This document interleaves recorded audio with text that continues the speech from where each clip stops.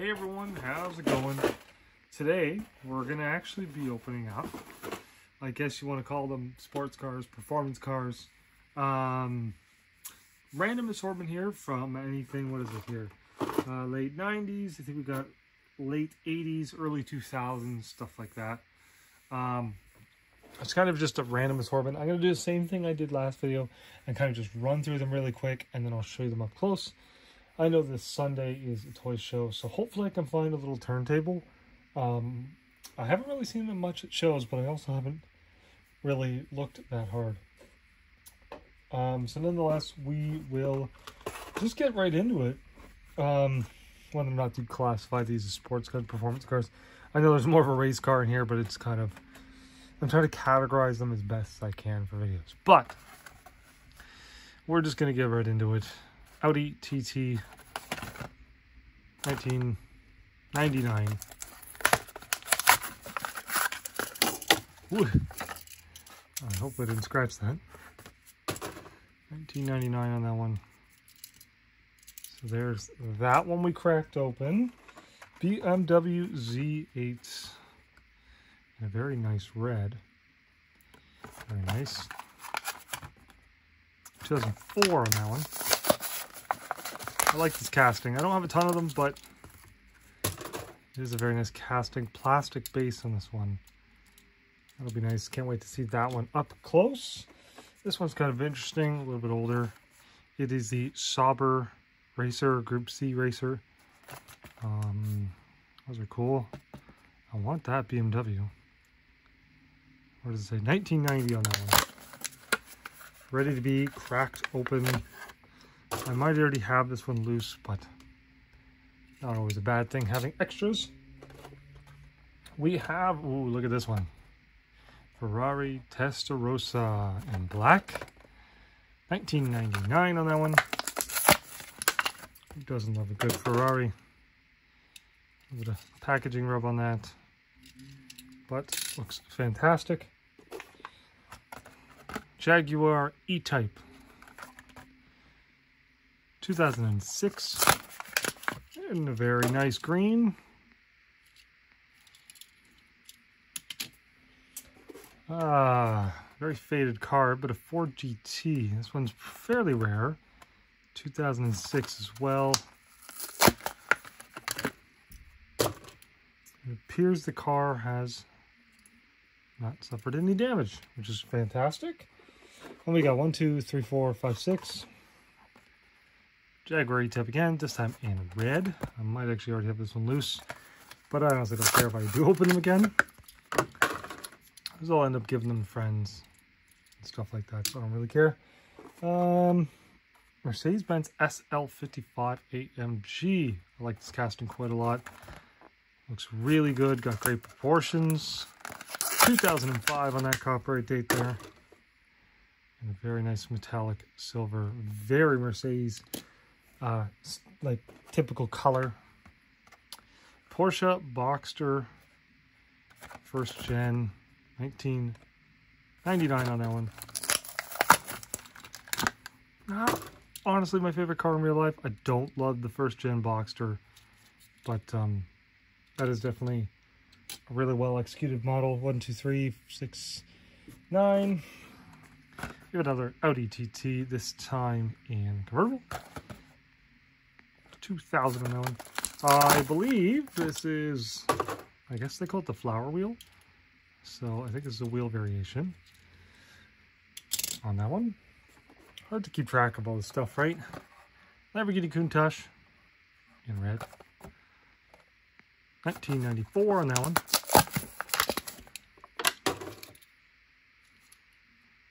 Nice metallic red. Uh, we got another Ford GT in red this time. 2005. That particular era, 2005, 6, 7, anywhere around then. Seems to be quite difficult to find.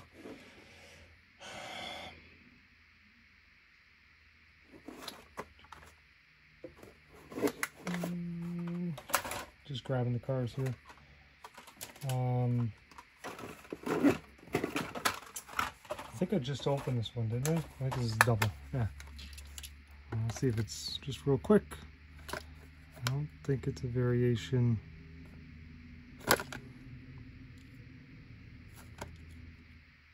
No. So that is a double, which is all right. I won't even open that one the video. So let's open the rest of these here, and that should be one, two.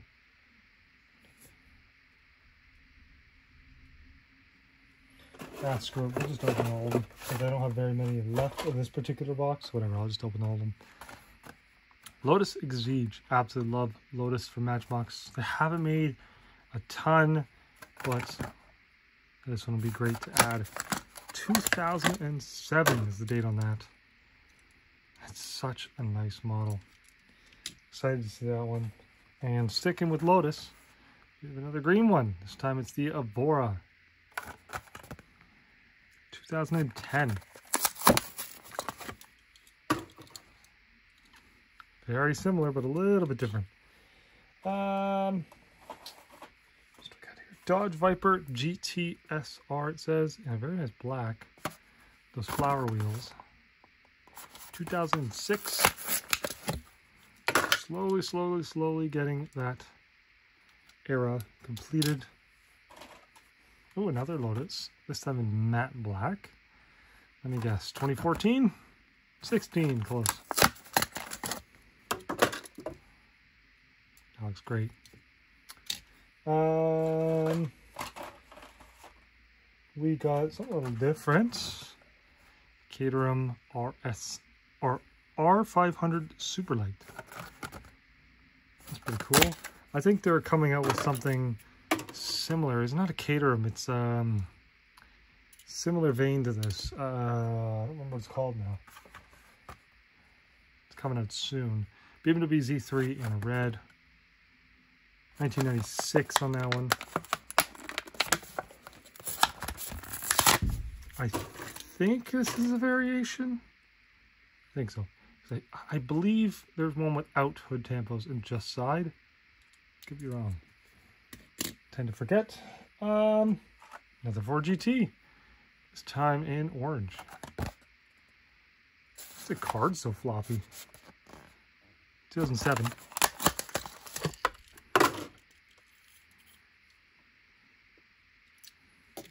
Okay. Um, another Audi TT. Convertible. Blue windshield. 2004. A little bit of an odd era for Matchbox. But still pretty cool. TVR Tuscan S in orange. What a weird car in real life. 2007. Kind of ugly, but kind of awesome. Certainly different. And the last one we'll take a look up, look at up close is this one. A bit of an oldie Dodge Daytona. 1986 it says on the back. Look at that, 959. Testarossa is really nice. They're all pretty nice, that race van, sweet. Crack it here. Ooh, see? Came right off. Paint is not perfect, but we'll take a look at it up close. Okay. Now let's cut to the second part of the video and uh, hopefully we didn't get any super amount of damage or anything. So anyways, let's go. All right, we're back. I didn't even move any of the cars. So yeah, I'm trying to make these videos a little more enjoyable for you guys. Um, but it's actually, it's, it's kind of a challenge making the video because I'm trying to enjoy these cars as I open them. But I'm also trying to focus on the camera and everything and what to say and all that. Um, hopefully you guys enjoy these videos. Um, I'm the best I can. Hopefully I get a turntable soon because I really think that'll help. Um, move the camera a little bit this is gonna be fun because I still got so many cars to put away. I gotta catalog them all and blah blah blah blah blah. Um, yeah, so we'll put this here. Look at that. Look at how many cars. Who doesn't love Matchbox? I mean, come on. That's a fantastic site. Um, so, Ford GT in orange. Um, I know you guys might cringe a little bit. Ugh. Cars hitting each other. Actually drop it just a little bit. Working on it. There we go. Ford GT in orange. I really like this casting. Uh, yeah, I guess it was similar to Gulf we seen last. But we haven't seen it in a little while, I don't think. I'd like to see more of it come back. Even the new Ford GT. Um, I don't know if it would be very popular, but um, this is my favorite deco, but I'm always happy to have one because it's still much more realistic. Uh, if we're going to look at the other Ford GTs, I'm sure I'm going to miss one and skip it. This one, um, not worth a million bucks or nothing, but this is the classic, I guess, Heritage Edition I think they sold in real life. Similar to, at least, because it's not licensed Gulf or nothing, but um, this one's worth a couple of bucks. I mean, from when last time I checked, it seems a little bit rare. I know I had one. Unfortunately, I got it in a loose auction. It was a little bit damaged. So, we found another one. I'm very patient. You got to be patient with these die-cast cars. I'm very patient, and I managed to get them for a pretty good deal. Classic red. Very simple, but very nice. I want to see that inside. Can't really see on camera, but there is a bit of detail in there. And what date is this? 2004. So yeah, there's quite a few variations for sure. I think there's two variations of the blue one, now that I think about it. I'm always trying to think of variations as I do this, but I'm telling you, if you're a die-hard Matchbox collector, you understand. It's pretty much impossible to keep track. Um, I think that was it, right? Yeah. Uh, we'll look at the Lotuses just because they're right in front of me, but look at this Evora matte black. I wish it kind of had a black interior, but you can at least get to see that uh, or not, or the car's gone. But you get to see that uh, engine detail there because it's in a light gray, and it's pretty good. Um, I'm curious to know if they've ever changed that amount of detail and they uh, dulled it down to seven on the date on there. Um, a little bit of detail on the back, but not much. You don't really need it. The windshield's a little bit yellowed. The glass, I hope it's not because of its age and it's just what happened when making it. Um, but that's fantastic. Uh, this is probably one of the best Evora versions I've seen other than this green one here. Look at the paint on that. Oh man, that's nice. I'm not quite in love with the wheels in this one. I think I prefer the wheels on the black one. Um, nothing on the back this time, right? No. Has a weird texture to it. Um, yeah, that's still fantastic. They do such a good job job with Lotus, especially this Exige, which is much lighter in terms of color, but still fantastic. Uh, what's the copyright date on this one? 2006. MB 706 156 scale. That's on the back. Look at that headlight detail. This is like, ooh, I dropped it again. See, I know it's not 164 because we just said it's 156, but it looks, it looks like it is close to 164. I mean, the scale looks good. The proportions are good. Um, man, I'd love to have all these. Especially the black wheels looks good. Um, look at this weird one. TVR. Beautiful orange paint though. I do kind of wish they made paint like this now. I'm sure there's extra cost to it. What an odd car in real life. 2003 on the date on that one. I don't think they made a ton of these, but I, I know there's a few. Um, I don't remember if there's any other TVRs. But there's that one. It's casting uh, loss of suspension, but because this is the old casting, uh, 1996 on that one. Used, used to have a metal base, now it's plastic. I think that was 2000 where that switched over. And you can see that interior because of the light gray. Eh, leaves a little room to be desired, but uh, unless you're looking at it up close, looks pretty good. The, I guess, vents, if you will, are part of the window there on, ooh, on top. I really like this casting. Uh, I don't know if there's a variation on the wheels. A little bit of detail on the back, nothing crazy, but definitely enjoy. Vipers. Uh, Boxster. Who doesn't love a Porsche? 996 Boxster, nothing on the front. I'm actually surprised there's not a Porsche logo because Porsche would probably want that. Does have suspension. I assume this is probably a first edition, 1998. I mean, very basic details in the back, but and they did a really good job with the interior, honestly. You, it's weird how some get a great interior, some don't. I mean, I'm glad this does because it's a convertible, but nice. Happy with that one. Uh, Jaguar E-Type, they made a million of these. It's a pretty nice metallic red chrome interior, part of the bumpers. You can see there. And those tri-spoke wheels. This is what, 2005 or so? Yeah, 2005 they made this one. If we're looking at red, oh, green, kind of an odd green color. Just a straight gloss. Again with this tri-spoke. I don't know if they've ever came with another wheel choice. Um, but uh, they made a lot of these and every one of them pretty much, they all look fantastic. They're all very basic from what I can remember. Um, and those look great. Again, Matchbox doing normal car proportions for, you know, mainline prices.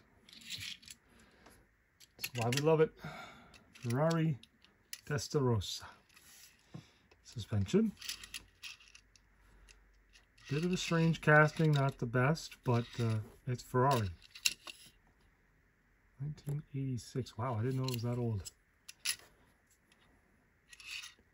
I guess I'm not surprised because it's pretty much when this car came out new. See, it's kind of frumpy in the back and like tall in the front, but who cares? It's a Ferrari. we don't get in that much anymore, so, well, obviously not for Mattel, but there's not many people that make Ferrari. So we're always happy to have what we can get. Um, put you back there. Uh, Lamborghini, going right from that this era, late 90s of Matchbox with these strange wheels. I think the suspension's broken in the front. Or maybe didn't have it. Ugh. I might, might, that might have never came with it, but I thought it did, but it has the rear, weird. Uh, interior is, it's there. Uh, beautiful red paint. Uh, Lamborghini on the side. I get the proportions are a little wonky but it's a Lamborghini Countach. It's classic Matchbox casting, and they're pretty popular. Eventually, I'll get them all. Um, not truly to scale, obviously, but uh, like uh, the proportions are not what they would be today if they made this. But um, I'd like to see them bring it back. You know, uh, either make, either revamp the old casting somehow. I know it's not the most realistic proportions, but wouldn't that be nice? Sauber Racer. Um, this is actually neat one that would be kind of fun to bring back. I think people actually might like it, the unlicensed. Um, pretty neat wheels. Um, bu -bu -bu, plastic spoiler, which I think is a separate piece.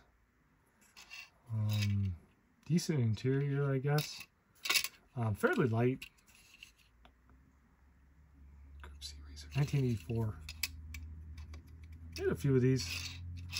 Um, maybe they'll bring it back one day. Who knows? Probably not. Uh, but I like it. Audi TT convertible. Audi TT coupe. Very similar. I think this one actually comes with those wheels as well. Could be wrong. I think there's also a 2000 version uh, uh, logo model. Um, interior looks great. Ooh.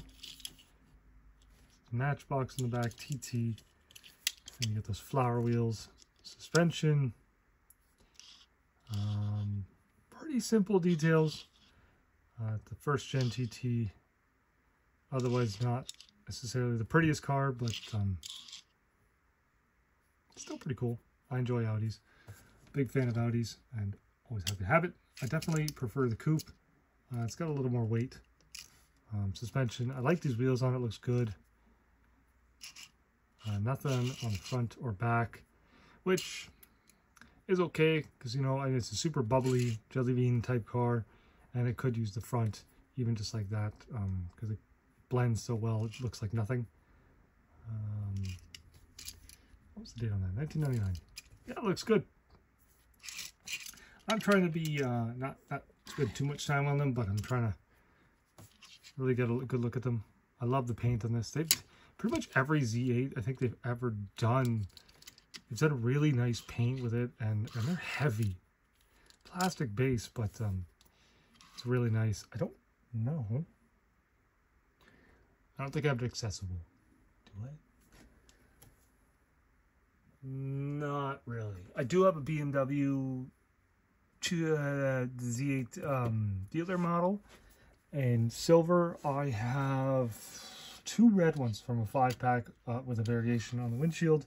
I might have already shown that in the video at some point. Um, but yeah, big fan of German cars. Z8's always a great one. Maybe that that's another one they can bring back because I know it's a big collector's car now. I'd love to see more Mercedes too from Matchbox. I know they make a few now that are pretty good. You know, they got the CLA shooting brake and stuff like that. But I definitely would like to see more Mercedes, especially more Audis. Nothing on the front, nothing on the back. Very simple. It's kind of weird that they didn't do the taillights because they're already there and doing tampos, but sure. Uh, chrome base to get the exhaust. I am not going to be able to read that because it's blinding me. Um, but yeah, again, proportions are fantastic. Looks great. Fantastic. And I'm not a big convertible guy, but it looks good. Sticking with the convertibles, we'll go back to the Audi TT. Could do without the blue windshield, but um, strange color interior. Flower wheels, no suspension this time. Those different wheels? No, same. Same as the other convertible. Um, yeah, not too much to say about that, in case you didn't know it was an Audi. Uh, BMW Z3, uh, they've made some funky looking decos on this. This being one of them is not the greatest, but pretty decent looking interior. Again, happy to see that on a convertible. Um, these things are still dirt cheap, I think, in real life. Uh, this generation, never loved the proportions of the hood. Um, but I mean, rear-wheel drive, sports car, for cheap, sure. Sure, could do without the decal. Wish it was just plain red. Uh, two more to go, and that'll be it. This, this little guy here, not much weight to it, but surprisingly heavy for what it is. 2010 on that. I know I don't think they made a lot of these, and these are pretty tricky to get, at least for me around here. I've I've been searching high and low trying to get all these. I do really appreciate that they put that there, because that's a nice little touch. Colored wheels I don't like, but on this particular version, it just, it fits the whole aesthetic of it. They went all out on it. Looks great. And the last we're going to look at is this oldie here. It does have suspension, but I want to be, be careful. Turbo Z. So look at that. Let me see if I can get this hood open without breaking it. I think it pops. Uh, oh, weird. It looked like it went the other way because I was like, how is that possible? So you get no detail in terms of paint. I'm not going to really be able to show that. Yeah, it looked like it popped up this way. I, I know it didn't, but I was like, well, how does that work? Um, my favorite 8-dot wheels. Good amount of weights because it's metal on metal. 1984 on that. Uh, nothing on the back, but that's okay. Check out the interior. Not much. Yeah, not much, but that's so cool. Otherwise, probably terrible car in real life. Maybe it's okay. I've never really driven one because they don't really exist anymore. But um, yeah, fantastic, fantastic. All right, zoom on out. That is a lot of cars we looked at. And I know it was a bit of a longer video, but I'm trying to get better at it, make it more watchable. Um, obviously, we still got tons more content to come. Plenty of fire trucks, service vehicles, all sorts of cool stuff. Um, yeah, uh, that is it for now, and stay tuned for more.